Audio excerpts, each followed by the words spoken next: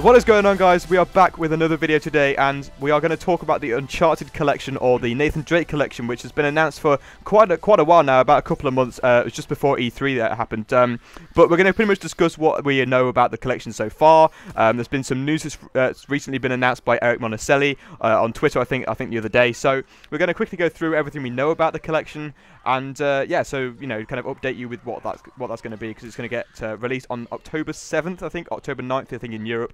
Um, oh no, no, no, hang on, October 7th in Europe and October 9th in the rest of the world. That's correct. Um, so anyway, um, pretty much going to start off with the basic stuff, which is that all three games minus Golden Abyss are in the actual collection. So we've got Uncharted Drake's Fortune, Uncharted Among Thieves, and Uncharted 3 Drake's Deception, all in 1080p, 60 frames per second. Um, but yeah, I'm, I'm, sure you guys are pretty happy Without about that. Let's be honest. Though without multiplayer. Without multiplayer, yeah, but, but yeah, on the other two. It's got no multiplayer involved. That was like out of all the things they could have done wrong, that's the only thing they did wrong. But it's like the biggest thing that they could have done wrong, like yeah. in essence, because like a lot of people would have bought that game for the multiplayer. Me personally, it wouldn't have made a massive difference. It may have pushed me over the edge to buy the game, but I mean, like. I think a lot of people would have been looking forward to that. But apart from anything else, yeah, I mean, all three games remastered. It's what you expect from a collection. I mean, at least they're not remastering one of the games like they did with God of War 3 because that would have been a very big cash grab. But at least they're doing the collection, so I, I think it's better true. they didn't put Golden Abyss in either because that was a Vita game, so that would basically just kill off the Vita if that came out on PS4. So it's better that They've it's left that out of this really. collection. Yeah, I know, but it's yeah. just better that they've left it out anyway. Then again, to be fair, I wouldn't have minded it being there. I mean, to be honest, like it, it is actually a really, really good game for yeah, the Vita. I mean, yeah. it, it works perfectly well, and um, I think I think it would have been nice to have it in there, but probably the complications of bringing a Vita game to PS4 probably would have been much more, um, you know, it would have been far worse than just, you know, remastering the first three games, which people, you know, some people loved on, loved on the PS3, and some people haven't even played on the PS on the PS3. So, you know, I, I think that was what they wanted to do: get the three main core games remastered and in 1080p, 60 frames per second. So that's pretty much the first big point. Obviously, uh, Quan Quan, Quan, whatever you want to say, um, slightly touched on the uh, on the point that there's no multiplayer. Um, yes, that's kind of annoying, but I still see the idea that the uh, that um, you know it was a beta is, is, for Uncharted 4 is, is what the multiplayer component of this game is for me. That that's that's what I still see. Yes, it's disappointing not to have the multiplayers, but I still like the idea that it's only going to be there for a few weeks though. That's true. That's true. But it's yeah, but still, still get a, a taste idea. of what it's going to be like think, and what. yeah, but anybody who's afterwards. buying the game anybody who would have bought the game for the multiplayer isn't going to buy it for the Uncharted 4 multiplayer base. I mean, that's a massive well, generalization, no, but like there may be a few people who wouldn't mind. But like, I think for the most part, if you cared about the multiplayer, you wouldn't have been happy. You wouldn't have been happy that it was only the Uncharted 4 multiplayer base of it. Moving on from the multiplayer bit, um, should we go through what other new parts of the game there are? Yeah, sure. So, I mean, we've got the motion controls that have been kind of taken out from Uncharted 1. This got announced this week, actually, only a couple of days ago. Um, so, if you didn't know, in Uncharted 1, um, for throwing grenades, it was very, very weird because obviously they had the new hardware for the PS3 at that time. Sixaxis was in the DualShock 3.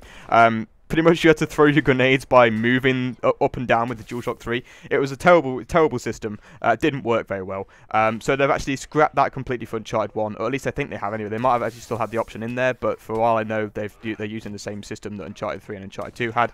And um, so yeah, you can just throw grenades normally with with L2, I assume. Mm. Um, so that's one of the smaller changes. Um, moving on to one of the bigger changes, actually, uh, which I found was a good, you know, a good addition, if if any um, was the addition of a new difficulty. Um, we were discussing this before the video, um, and how the well, especially Uncharted Three, less so with Uncharted Two, and even even more less so if that makes sense with Uncharted One. Yeah, um, a new difficulty is definitely needed. I mean, it's it's called brutal. We were saying before, um, which is harder than crushing, and I do think that's definitely needed for those who like a challenge in Uncharted Three because it was just far too easy that game, and a lot of people wouldn't have found it at all taxing to play it through on hard and the people who wanted a challenge would have found crushing very easy. So I think that's that's one of the the, the better additions anyway.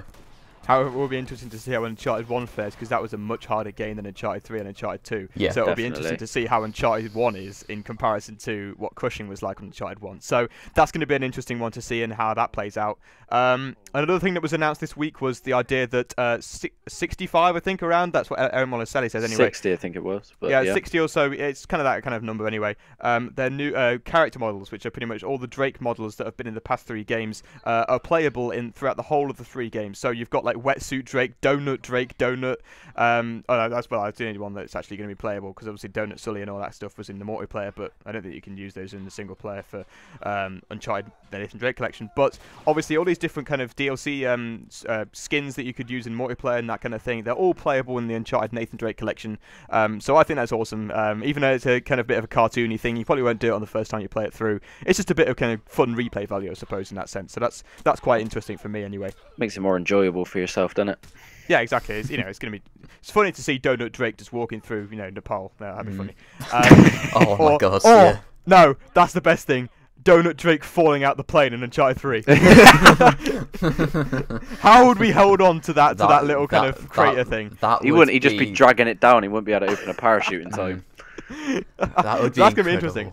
Yeah, if that, that, ends up being like something that is actually like what we think it's going to be, then it would be quite yeah. funny to see. Although I like, I think it just take the atmosphere out of it. Although I'm not sure if many people even care about it. If it's that Uncharted funny. is a very very kind of funny game. Yeah, it's, it's not it's yeah. not meant to take itself so seriously. So I think that's I think that's quite a nice thing to have in there. Mm. Um, other things we've got uh, the kind of remade face models, or not remade, but kind of you know remastered in yeah, the sense that it's I mean, you know, it's upscaled. Robin mentioned in his other video that they did it with the Tomb Raider Definitive Edition. They did sort of like a new you know face model for Lara. I presume they're going to be doing that for uh, for Drake and Sully and Elena for Uncharted One. Uncharted Two and Three they were fairly similar really.